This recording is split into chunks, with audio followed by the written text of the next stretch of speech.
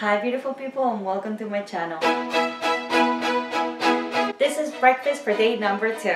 We're gonna have really yummy scrambled eggs and sausage. I like it. So let's see what's for breakfast. We're just gonna use a medium-sized sausage. I always try to find something that is very organic, you know, where the ingredients are just pork, water, salt, and vinegar. The little ones, you only like get two of those. Okay, and I'm gonna cook it until they're no longer pink and they're brown on the outside. And I don't add any oil since the pork is already fatty. Okay, if you don't eat pork, you can also replace it for turkey or chicken sausage and try to find one that is low in sodium.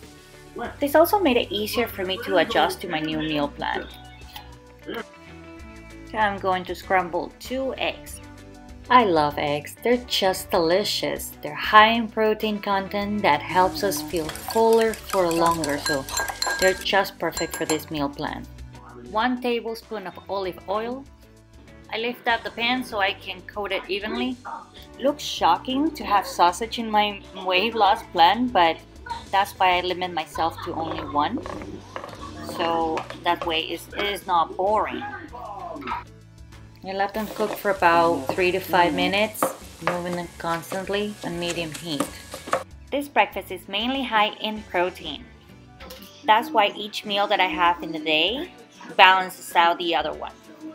Salt to taste, Cottage cheese helped me to lose weight because it's high in protein, which makes you feel fuller. Just remember that if it's high in protein, it's going to make you feel fuller. And this one is also low in calories. You can also replace it with Greek yogurt. And finally, nine strawberries. They're packed with antioxidants. And did you know that about eight strawberries provides more vitamin C than one orange?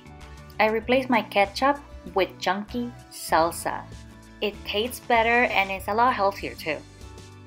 And to cut off all the fat, I just serve it with hot tea. Preferably green tea, but any other herbal tea without caffeine is also great and no sugar. Instead, you can use a little bit of honey. Strawberries are great for weight management since it will satisfy a sweet craving, it's low in sugar and in calories. Try to buy the organic ones. See that you don't need to starve yourself or stop eating delicious to lose weight? In this meal plan, you also have a cheat day. And I'll show you what I eat in my cheat day. Thank you so much for watching. I hope you enjoy it. Please don't forget to subscribe, give it a thumbs up if you like it, and share with everybody. And overall, keep it up. Remember that discipline will give you the victory. If I can do it and it gave me results, so can you. And I'll see you all on my next video. God bless.